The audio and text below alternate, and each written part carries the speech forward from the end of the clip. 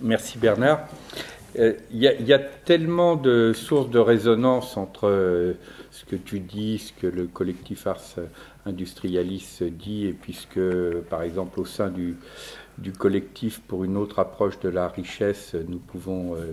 nous-mêmes avancer comme, comme proposition, que j'ai l'embarras du choix euh, dans la, résonance par rapport à, tes propos introductifs. Donc je les centrerai vraiment sur deux points principaux. Euh, le premier point, c'est la, question de ce que vous appelez, je trouve que c'est un, un terme qui colle bien, la mécroissance la nature même de cette euh, croissance insoutenable et euh, en quoi les réponses en termes de, savoir vivre, de bien-être, euh, sont adaptées justement au, caractère de cette mécroissance. Et puis le deuxième point, c'est de revenir sur cette question fondamentale du désir et de son, double qu'est la sidération, parce que le, mot désir, il est construit à, l'origine comme étant l'inverse de la sidération du sidus, qui à l'époque, le, le, sidus des étoiles était considéré comme le règne même de l'immobilité, et le contraire de l'immobilité, le mouvement, c'était justement le désir. Et en quoi euh, surtout dans ce moment où, avec le rebond de la crise financière, on est complètement confronté à de nouveaux effets de sidération, c'est-à-dire euh, alors même que des, programmes de régression euh, sociale absolument considérables sont en train d'être annoncés, une espèce de silence des forces politiques, syndicales, des autorités morales et spirituelles devant ce, déchaînement de logique euh, régressive, et, je crois qu'on ne peut pas comprendre ce silence si on ne comprend pas le processus de sidération qui va avec. Et donc, dans un deuxième temps, justement dans une perspective euh, d'économie du désir, j'essaierai de voir à la fois quelle est l'origine de cette sidération, comment on peut la comprendre et la déconstruire, et comment justement des stratégies de désir peuvent être mises au service euh, de, la question du, savoir-vivre et, du bien-être. Donc, premier temps, c'est effectivement de, voir en quoi, au, cœur du caractère systémique de la crise actuelle, au cœur de ce que nous appelons euh, croissance insoutenable et, que le terme de mécroissance peut tout à fait euh, bien caractériser, il y a deux éléments clés qui sont communs aussi bien aux défis écologiques qu'à la crise sociale, qu'à la crise financière, mais on pourrait dire aussi de la même façon à la partie politique de la crise. Et ces deux éléments qui sont communs, c'est d'abord la question de la démesure et ensuite la question du mal-être, du mal-être, de la maltraitance, du, mal de vivre. Par exemple, ce qui permet de penser ensemble les, trois grandes facettes de, la crise et d'arrêter de la dissocier comme on le fait euh, régulièrement en oubliant par exemple la crise écologique et la crise sociale et en se focalisant uniquement sur la crise financière, c'est d'abord effectivement ce que les Grecs appelaient l'ubris, la démesure.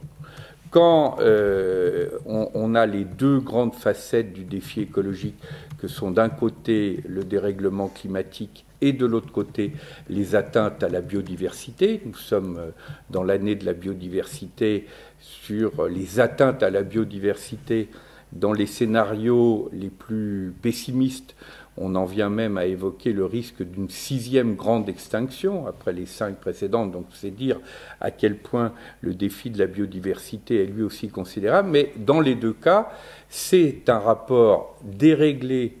à nos écosystèmes à la nature, qui est justement la question de la démesure. Ce qu'on a appelé classiquement le productivisme, c'est une situation où, au lieu de considérer que nous sommes dans un habitat de notre planète et du cosmos qui lui est lié, on est dans un rapport purement instrumental et dominateur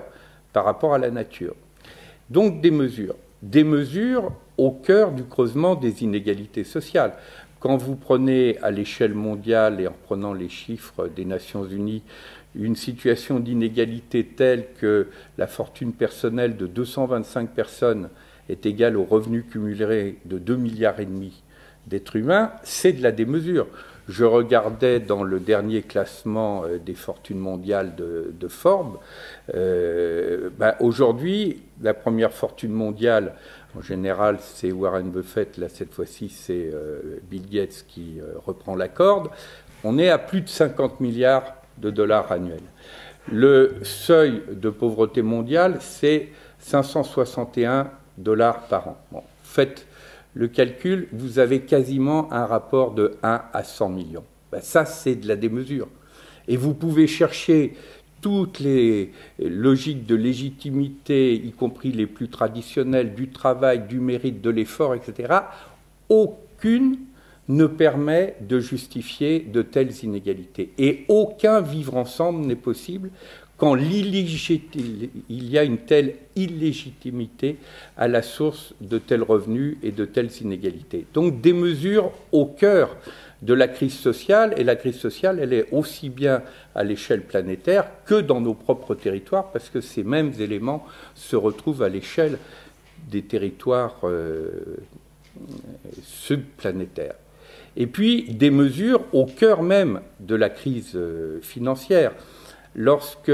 avant la faillite de Lehman Brothers, Bernard Lietard, qui est un des anciens responsables de la Banque centrale de Belgique, avait mis en évidence que sur les 3200 milliards de dollars qui s'échangeaient quotidiennement sur les marchés financiers, moins de 3%, 2,7% exactement, correspondaient à des biens et des services réels. Donc le fameux découplage économie réelle, économie spéculative, il se lisait à travers cette disproportion.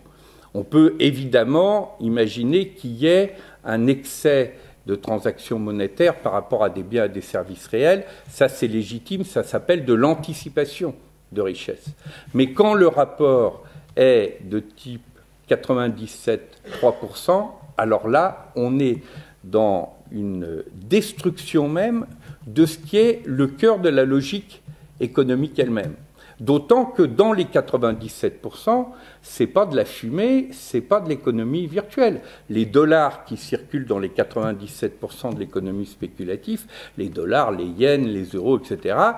ont la même valeur et permettent euh, d'acheter les mêmes biens que ceux qui sont dans l'économie réelle. Mais ce qui caractérise les 97%, et là, on est complètement dans l'articulation entre la question de la démesure et puis l'autre aspect que je vais maintenant évoquer, qui est la question du mal-être, du mal de vivre et de la maltraitance. On est dans une situation, dans ces 97%,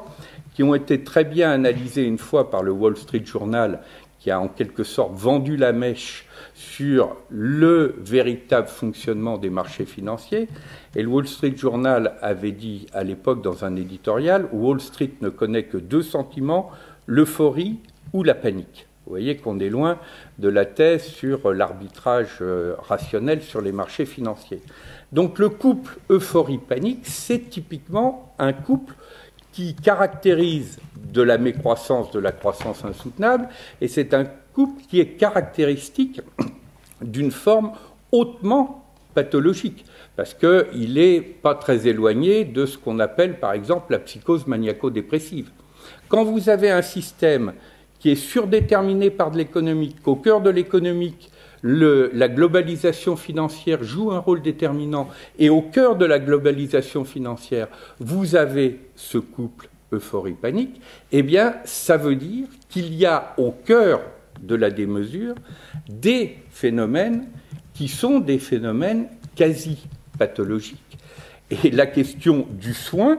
elle se pose d'abord à l'égard des marchés financiers. C'est pour ça que toutes les thématiques qu'on va revoir dans la sidération et qui sont des, problématiques liées à l'idée d'aller rassurer les marchés financiers, c'est à peu près comme si on disait à des grands toxicomanes euh, qu'il euh, faut les rassurer sur le fait qu'ils vont continuer à trouver de quoi alimenter leur propre toxicomanie. Donc là, il y a une question qui lie le rapport de la démesure aux questions du mal-être et de la maltraitance. Et pour le montrer d'une façon assez simple, je repars souvent là aussi des chiffres donnés par les Nations Unies, notamment dans le rapport mondial sur le développement humain. Et en 98, le PNUD, donc le Programme des Nations Unies pour le développement, avait eu l'idée de mettre en rapport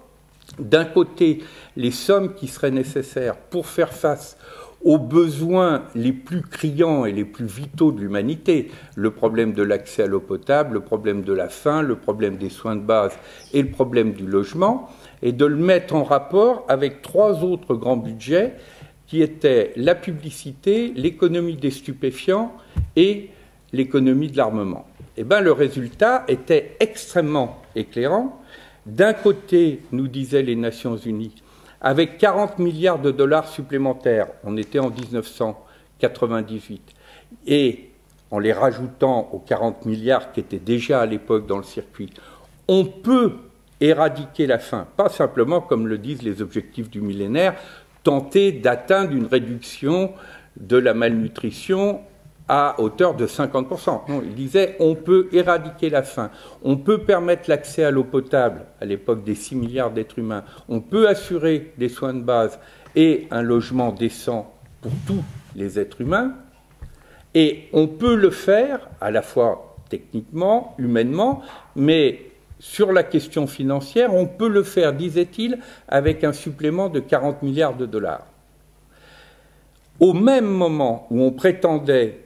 ne pas trouver ces 40 milliards de dollars, et c'est les trois autres chiffres mis en évidence par le rapport mondial sur le développement humain,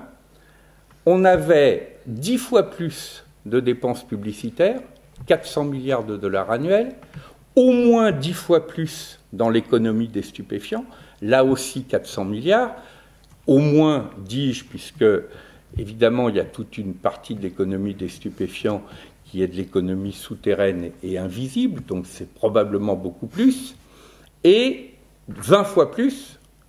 800 milliards à l'époque, dans les dépenses d'armement. Or, si vous analysez ces trois grands budgets, justement, dans les catégories d'une économie libidinale, qu'est-ce qui se joue dans ces trois budgets? Ben, il est clair que dans l'économie des stupéfiants, on est dans de la gestion directe du mal de vivre. Sauf cas euh, fort limité, quand on se drogue durablement et avec des drogues dures, on n'est pas dans la curiosité euh, intellectuelle euh, ou amicale du, du, shit qu'on peut être amené à prendre à tel ou tel moment de sa vie, en général adolescente. Quand on est vraiment dans de la drogue dure et de longue durée, c'est parce que ça ne va pas bien. Donc quand vous avez un marché mondial des stupéfiants de cette importance, qui faisait à l'époque 400 milliards de dollars annuels, c'est de la gestion directe de mal-être et de mal de vivre. Quand vous prenez l'économie de l'armement, qu'est-ce qu'on gère pour l'essentiel? On sait bien que ce n'est pas vraiment de la protection.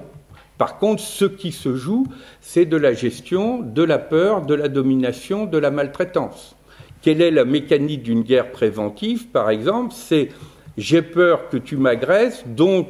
je me dote des moyens de me protéger de ta, ton agression présumée, laquelle protection fait peur au partenaire adversaire qui lui-même rentre dans la course aux armements, et on est dans une logique globale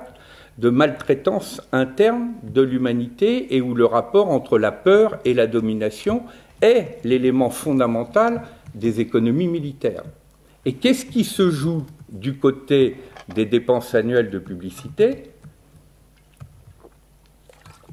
On peut dire que là, on est justement dans la contrepartie du consumérisme, qui est la consolation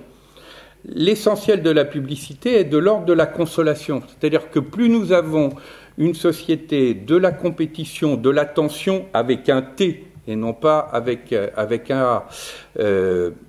de, de la vitesse, du stress, de la destruction écologique, et plus nous avons un appel à la beauté, à l'amour, au bonheur, à la sérénité, c'est-à-dire les trois grands registres fondamentaux où des êtres humains peuvent chercher un rapport harmonique qui est dans le rapport avec la nature, la beauté, dans le rapport avec autrui, l'amour, l'amitié, la paix, etc., dans le rapport à soi-même, l'authenticité, la sérénité, tous ces éléments-là sont au cœur des messages publicitaires.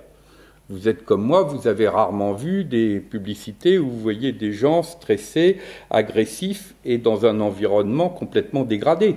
c'est toujours des paysages magnifiques, des gens souriants et sereins. Et fondamentalement, le cœur de la publicité, c'est de faire une promesse dans l'ordre de l'être pour mieux faire passer à titre subliminal un message d'hyperconsommation dans l'ordre de l'avoir. Mais le résultat des courses, c'est que ça entraîne deux effets pervers. Un effet pervers du côté du consommateur lui-même, qui évidemment, après un bref moment de satisfaction ou de soulagement, va se retrouver en situation de déception et de frustration, puisque évidemment, ça n'est pas le nouveau bien, le nouveau gadget qu'il a acquis qui va lui donner accès au bonheur, à l'amour, à la beauté, à la sérénité. Et comme le message, c'est aussi de dire oui, mais si tu n'es pas satisfait, c'est parce que tu n'en as pas pris assez, la logique de l'addiction, la logique du toujours plus, va se mettre en place. Et cette logique du toujours plus va avoir pour effet, à l'autre bout de la chaîne, de produire là un caractère encore beaucoup plus dramatique que le premier effet, qui est d'organiser artificiellement de la rareté, voire de la misère, à l'autre bout de la chaîne, c'est-à-dire le toujours plus de la petite partie de l'humanité qui est dans l'hyperconsommation, a aussi pour effet de produire le toujours moins d'une partie de l'humanité qui n'arrive même pas à satisfaire ses besoins vitaux. Et il y a à ce moment-là un rapport systémique, en quelque sorte, entre la misère affective, éthique, voire spirituelle à un pôle, et puis la misère vitale à un autre pôle. Donc si je rassemble ces deux éléments, il y a au cœur de cette mécroissance un couple qui est formé par de la démesure et par du mal-être et de la maltraitance. Et on ne peut avoir des stratégies positives que si on traite ce couple et que si on lui oppose un autre couple positif est fondé d'un côté sur de l'acceptation des limites, c'est la question de la simplicité, de la sobriété, de la frugalité, peu importe les termes que l'on emploie, mais leur caractéristique fondamentale, c'est de sortir de la démesure et d'accepter un certain nombre de, limites, mais de lier cette acceptation à l'autre élément fondamental qui est une qualité de savoir-vivre et de savoir-être supérieur, et pas simplement sur le plan individuel, mais sur le plan sociétal. Et donc à ce moment-là, la question des réorientations des économies et des politiques au service de ces stratégies de savoir-être et de savoir-vivre devient un enjeu proprement sociétal et politique, et pas simplement personnel. C'est la question de ce que, par exemple, Pierre Rabhi appelle la sobriété heureuse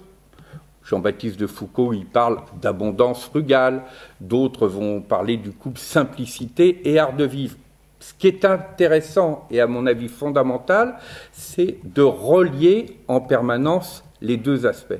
Parce que si on ne traite que la question des limites sans traiter la partie positive du projet, eh bien, on est dans la situation où on proposerait à un toxicomane de faire une cure de sevrage. S'il n'a pas une espérance positive au terme de sa cure, ben, il préfère encore rester avec sa toxicomanie. Et si vous voulez malgré tout passer en force, mais à ce moment-là, c'est sur un modèle autoritaire avec tous les risques que ça peut avoir du côté de la démocratie. Donc vous voyez, au, terme de, ce premier temps de ma résonance, et je vais aller plus vite sur le, second. Il me reste encore un petit quart d'heure. Ah, quand même. Euh, je ne suis pas trop dans la démesure du temps pour le moment. Euh, au, terme de ce premier élément qui lie euh, la nature de la mécroissance au couple démesure, mal-être, et qui lui oppose comme stratégie positive un autre couple qui est fondé sur l'acceptation des limites et une qualité d'art de vivre et d'être suffisante, à ce moment-là, nous rencontrons l'une des difficultés majeures qui est que pour opérer ce qui est à ce moment-là non plus simplement de la reconversion économique et politique, mais de la conversion au sens le plus radical euh, du terme, on est effectivement confronté à la question du désir et à la question de l'envers du désir qu'est la sidération. Et là, je trouve important de s'y arrêter un petit peu parce que le rebond de la crise financière et l'absence de réaction face à l'ampleur des programmes d'austérité qu'on est en train de, mettre en œuvre met bien en évidence ce phénomène de sidération. Et donc, je voudrais d'abord, euh, pour introduire l'importance d'une stratégie du désir et d'utiliser cette énergie au profit justement de politique et d'économie du, mieux-être, voir qu'est-ce qui se passe quand il y a l'envers du désir qu'est la sidération. Puisque la sidération, elle associe un phénomène d'immobilisation totale et un phénomène de fascination qui conduit les victimes mêmes à ne pas réagir face à une menace qui, y compris, peut les atteindre vitalement. Il y a les deux aspects dans euh, un processus de, sidération. Alors, si on essaye de, comprendre les ressorts de la sidération,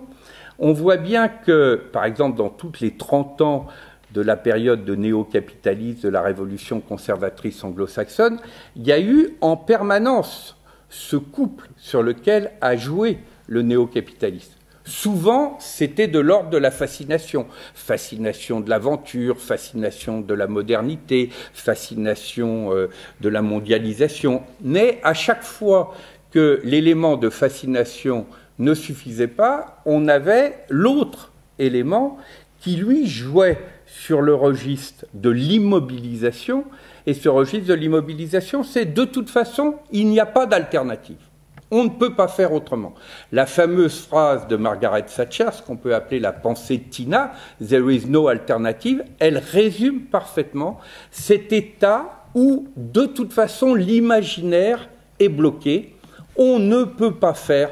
autrement.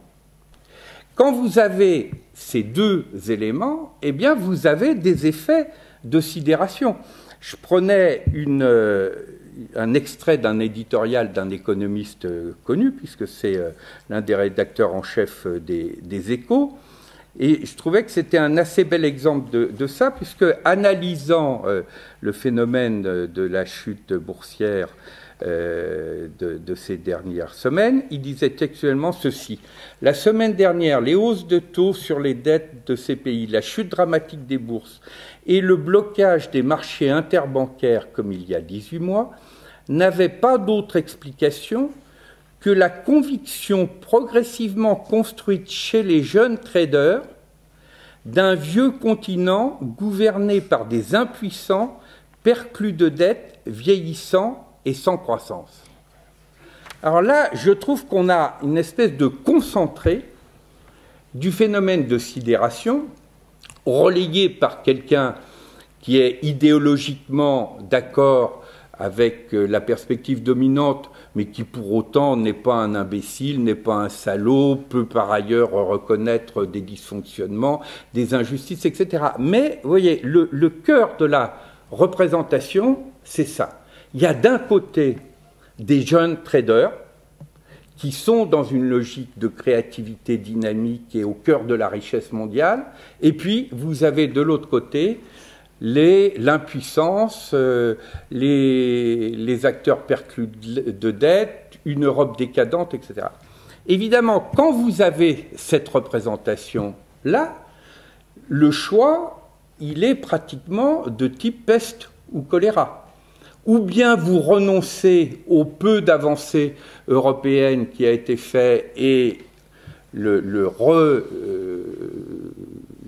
la pelote inversée que peut être le retour des nationalismes européens, d'autant plus activés par euh, les phénomènes de régression émotionnelle, peut très rapidement recréer en Europe des situations de fragmentation, de conflit, voire même à terme des logiques guerrières, intérieures ou, extérieures, ou bien pour éviter cette situation et préserver à tout prix la cohésion européenne, ce qu'il en reste, et notamment le système de l'euro, on va nous dire ben, la seule façon, c'est effectivement d'arrêter ces endettements euh, massifs, d'arrêter de vivre au-dessus de nos moyens, donc d'avoir les politiques d'austérité que, que l'on nous promet. Et là, vous avez un autre élément qui joue un rôle très important dans la sidération, c'est qu'il y a apparemment des éléments d'évidence, de sens commun qui apparaissent et qui apparaissent y compris chez les victimes d'un système. Par exemple, au cœur de ces fausses évidences, il y en a deux qui jouent un rôle très important. La première, c'est on vit au-dessus de ses moyens et par conséquent, quand on dépense durablement plus que ce que l'on gagne, eh bien, il y a un moment de vérité où il faut accepter de se serrer la ceinture pour rétablir les équilibres. Et puis, un deuxième élément d'évidence que vous trouvez par exemple complètement sur le dossier des, retraites, qui est bah, évidemment, à partir du moment où l'espérance euh, de vie se prolonge, le rapport entre les actifs et les inactifs va se trouver complètement déséquilibré. Alors là, on se dit, bah oui, euh, c'est peut-être dommage, c'est peut-être injuste, mais là, on est vraiment confronté à des évidences, et à moins d'être dans un déni de réalité, il faut faire avec ces évidences. Or, la première chose, justement dans ce qu'on pourrait appeler une stratégie de déconstruction du récit sidérant, du récit de sidération pour faire réémerger le désir, c'est d'aller interroger ces évidences apparentes. Je le fais juste à coup de flash parce que je n'ai pas le temps de le détailler. Mais vous prenez le premier élément qui est au cœur de la question de la dette et des déficits. D'abord, la fameuse représentation ménagère apparemment simple du il ne faut pas dépenser plus que ce que l'on gagne, c'est rigoureusement l'inverse de ce qui se pratique en permanence sur les marchés financiers et sur tout le mécanisme monétaire de l'économie de l'endettement. C'est-à-dire nous sommes en permanence dans un système qui ne vit qu'en s'alimentant au contraire en permanence d'une logique de l'endettement. 90% de la monnaie créée correspond à du crédit, donc à des logiques d'endettement, et on a complètement changé le mécanisme de création monétaire. Il y a encore 30 ans, la place, par exemple, des billets et des pièces qui étaient mises en circulation représentait près de 50% de la masse monétaire. Aujourd'hui, c'est aux alentours de 10%. Or, quand on crée de la monnaie par le crédit, et circonstance aggravante, quand cette création monétaire a été confiée pour l'essentiel à des banques commerciales on est dans une situation où la logique même de l'endettement est la logique intrinsèque au système. Premier élément. Deuxième élément, les phénomènes qu'on appelle les phénomènes de levier, le LBO en termes de jargon euh, technique, qui va permettre par exemple à un acteur financier d'aller racheter une entreprise alors même qu'il n'a pas du tout les moyens de la racheter directement, mais en s'endettant lui-même et en la rachetant et en faisant payer à l'entreprise ainsi rachetée les intérêts de l'endettement, ce qui suppose ensuite d'avoir évidemment un désossement de l'entreprise pour en garder la partie la plus rentable, au nom d'une mécanique infernale qui est très bien exprimée dans un film qui va passer prochainement sur Arte de Anne Kunvari que je vous conseille de voir, qui s'appelle Il était une fois les patrons, qui est un film extrêmement euh, historique et tout à fait non polémique, et dans lequel les patrons eux-mêmes racontent comment l'injonction du retour sur investissement de 15% minimal pour les entreprises cotées et de 25% pour les entreprises non cotées, leur interdit, on retrouve tout à fait ce que disait Bernard tout à l'heure, toute perspective d'entreprise cohérente et surtout toute perspective à moyen et à fortiori à long terme. Parce que quand vous devez sortir les 15%, voire les 25% annuellement, la seule possibilité, c'est effectivement de tondre la bête au maximum et de tirer le maximum de bénéfices à court terme, et puis ensuite vogue la galère. Donc vous avez un mécanisme de changement même du mode de création monétaire, vous avez un mécanisme qui plus est, à la fois automatique et inconscient, c'est-à-dire dans les dérapages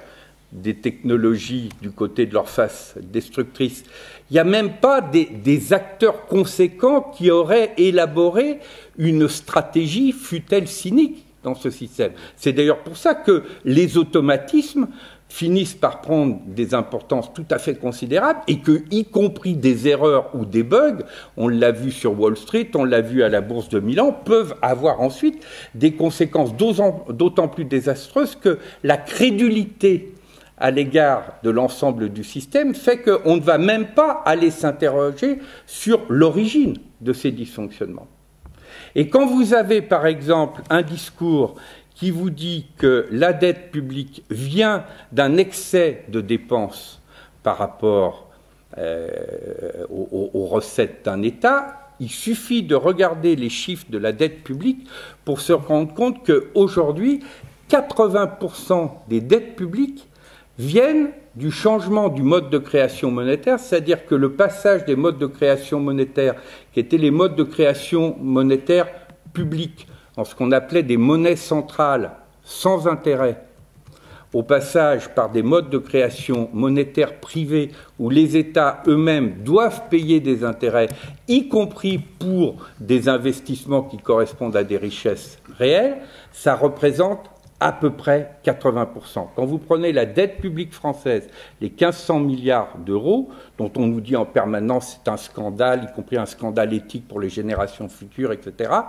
1175 milliards de ces euros viennent des intérêts composés. C'est-à-dire que si par hypothèse on n'avait pas changé le mode de création monétaire, aujourd'hui la dette publique française serait d'un maximum de 350 milliards d'euros. Si tout ça vous intéresse, je vous euh, invite à regarder sur le blog d'un des rares économistes qui travaillent sur ces questions, qui s'appelle Alain Grandjean, qui travaille aussi d'ailleurs beaucoup avec euh, Nicolas Hulot et avec le réseau Chômage et Monnaie, pour voir à quel point ce phénomène joue un rôle déterminant. Donc vous voyez, si on veut sortir de la sidération, il faut d'abord déconstruire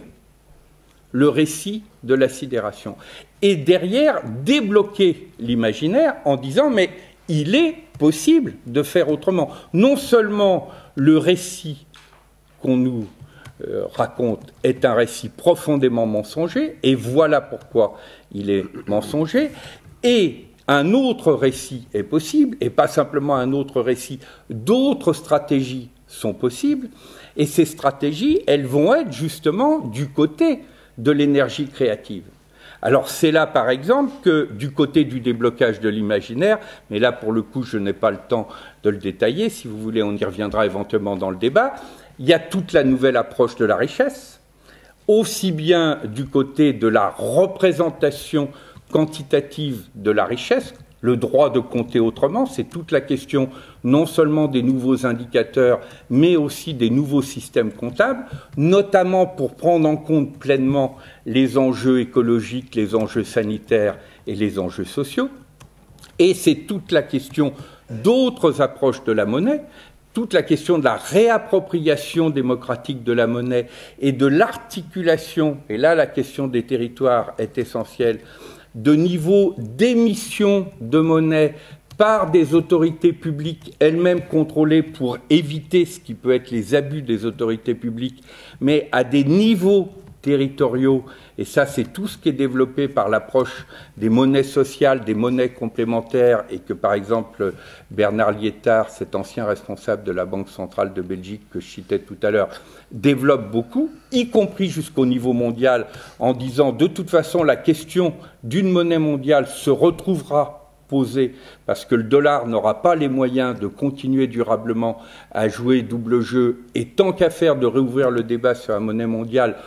au moins que cette monnaie mondiale a créé soit une monnaie qui soit cohérente avec un développement soutenable. Donc, deuxième grand chantier une autre approche de la richesse, une autre approche de la monnaie, et effectivement un chantier qui concerne directement les politiques publiques, et notamment les politiques publiques territoriales, où la question de ce qu'on peut appeler des politiques publiques du temps de vie va devenir absolument essentielle. Parce qu'il faut bien voir qu'aujourd'hui, on a des politiques publiques qui sont obsédées par les 11% de temps de vie qui correspondent à la définition économique et statistique de l'activité.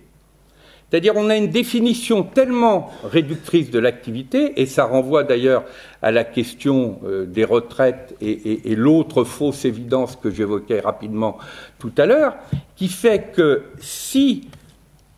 ce qu'on appelle activité, c'est simplement la période de vie du travail rémunéré, eh ben vous avez vite fait de faire le calcul. Sur une moyenne de vie de 76 ans exprimée en heures de vie, ça va vous faire un peu plus de 600 000 heures d'heures de vie. Eh bien, le temps au sens statistique du terme qui va correspondre à l'activité, même en prenant 40 heures et pas 35 heures, ça va être aux alentours de 630 000 heures de vie. C'est-à-dire que ça va être aux alentours de 11 Mais on va prétendre que par exemple, société de la connaissance, ah ben toutes les études supérieures, c'est de l'inactivité. Tout le bénévolat, c'est de l'inactivité. Toutes les activités domestiques, c'est de l'inactivité. Toutes les contributions sociales que des personnes qui ne sont plus dans des jobs peuvent avoir, par exemple, dans la vie associative parce qu'ils sont jeunes retraités, tout ça, c'est de l'inactivité. Alors, évidemment, avec une telle vision, eh vous n'avez pas de politique éducative, vous n'avez que de la formation adaptatrice à des jobs qui, en plus, ont toute chance d'avoir disparu parce qu'entre-temps, les technologies sont devenues euh, obsolètes. Euh, vous n'avez pas de métier au sens fort du terme, c'est-à-dire de capacité d'avoir des projets de vie, puisque le mot métier, ça veut dire ministère mystérieux. Donc c'est quelque chose qui est sur l'axe du projet de vie et pas simplement sur l'axe du que faisons-nous dans la vie. Vous avez des logiques de retraite qui sont des logiques complètement régressives et qui sont considérées justement comme étant du côté des charges. Et à ce moment-là, vous avez tout le discours dépressif sur la mort est un échec, la vie est un combat. Et du coup, dans cette représentation dépressive, la vieillesse est un naufrage et la retraite est la première étape de la déroute finale. Et donc, évidemment, cette représentation complètement euh, dépressive se paye de la représentation chère à Éric euh, Boucher, vive, euh, vive les jeunes traders face aux vieux cons perclus de dettes dans cette représentation-là. Et donc, faire des politiques de vie, c'est de dire tout être humain, depuis l'accompagnement de la naissance jusqu'à l'accompagnement de la mort, est un être qui a droit à vivre debout, à vivre intensément sa propre vie, à ne pas avoir comme objet la simple survie biologique. Et la condition même de ces technologies relationnelles dont parlait tout à l'heure euh, Bernard, elle me semble liée à cette qualité d'être et à cette qualité relationnelle. Et là, c'est toute la question de temps de vie où l'art de vivre ensemble devient un enjeu déterminant, où ce que le Forum social mondial de Belém a appelé depuis l'année 2009 la question des sociétés du bien vivre,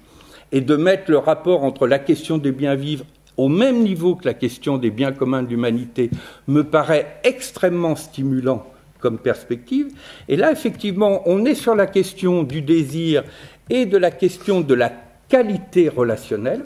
et osons le mot de l'art d'aimer, parce que la façon dont les humains apprennent à mieux s'aimer devient effectivement un enjeu déterminant. Comment on passe de l'amour comme expression purement possessive, ce que les Grecs appelaient la pornéia, pour aller vers la reconnaissance de l'altérité, qui est l'éros, qui est la filia, l'amitié, ou qui est l'agapé, c'est-à-dire même la possibilité pour un être humain de donner sans attendre a priori qu'il va recevoir, c'est-à-dire le cœur même des économies du don, eh bien cette montée en qualité relationnelle, cette montée en qualité amoureuse, c'est justement la réponse à la bêtise systémique. Il y a cette belle phrase de Martin Luther King, et je terminerai par elle, qui disait Il faut nous apprendre à nous aimer comme des frères et sœurs ou nous préparer à périr comme des imbéciles. Ben, je pense que cette phrase, elle est particulièrement juste parce qu'elle place, y compris, la question de la qualité relationnelle, donc la question de la qualité d'amour, comme étant une question sociétale et pas simplement comme étant une question personnelle et privée, et comme étant une question d'intelligence et d'apprentissage face justement à ce qu'est la bêtise systémique. Alors si on se place dans cette perspective, on voit effectivement que face aux logiques de sidération qui nous immobilisent autant qu'elles nous fascinent, c'est du côté de cette stratégie du désir, de cette stratégie des forces de vie,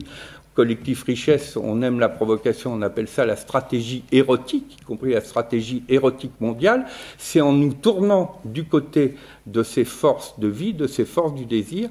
que nous pouvons offrir des éléments d'alternative aux logiques de guerre, aux logiques de destruction et aux logiques de bêtises systémiques. Merci beaucoup.